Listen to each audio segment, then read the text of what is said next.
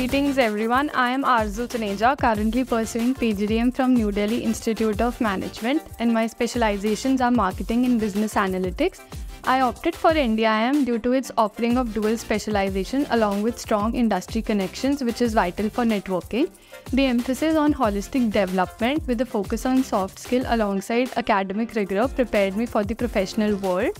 NDIM offers various corporate mentorship programs which helps me to gain practical knowledge and hands-on experience on leading softwares.